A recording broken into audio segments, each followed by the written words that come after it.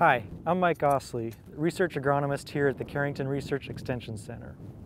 I'm standing here today at the site of our field pea and canola intercropping trial. So you might ask, uh, why would I consider intercropping? Uh, intercropping is actually as old as agriculture itself. And the reason that we want to consider it is because biologically you can actually get more production per area uh, than you could with growing a single crop. And with today's technology and innovations all around, uh, intercropping has never been more adaptable to a farm. But it's not without its flaws. So here uh, we're looking at field peas and canola. And one of the big advantages here is that we're trying to fight weakness with a strength. So field peas are pretty low residue, okay, but they fix nitrogen. Canola uses a lot of nitrogen and provides a pretty nice residue. And it can help support the field peas at the end of the season so there's not as much lodging. So when we pair these two together, uh, we're trying to create a system uh, that should have lower inputs and higher productivity than uh, either crop on its own.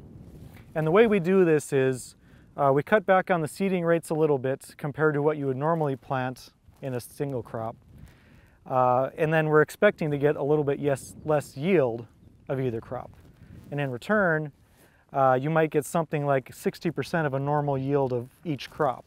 And so what you end up with is maybe 120% uh, total production uh, compared to, again, either crop on its own.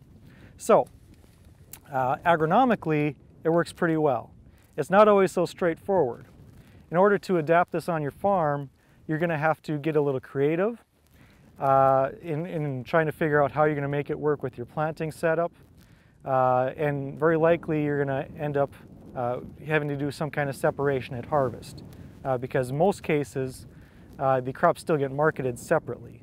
And so uh, unless you find a specialty market that will accept mixed grain intercrops, you're going to have to find a way to separate the grain after harvest.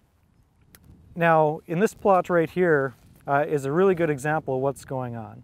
We're putting both the field peas and the canola down the same furrow at planting. And uh, they both kind of support each other as they're coming up. Uh, we seed it uh, kind of at a medium uh, depth total. So uh, we got a small seeded canola and a large seeded field pea. They like to be at different depths normally, so we kind of pick a medium seeding depth. Uh, and the field peas as they're coming up help to uh, create a more uniform emergence on the canola, which is seeded deeper than it would normally like. Now, in our best case scenarios out here, when we've done this in the past, uh, we found up to 30% uh, uh, overproduction. And so in other words, uh, we've been able to get up to 30% uh, more total yield per acre than with either crop. Um, but the range can be anywhere from 5 up to our 30%. So uh, my number one recommendation to somebody that's interested in intercropping is to test it out first on your farm. Every farm is going to do intercropping different than the next one. And so small plot uh, on-farm research is really necessary uh, before you get into this. Uh, and you're going to want to play around with things like seeding rates and fertility strategies and really try to tailor this to what works best for your operation.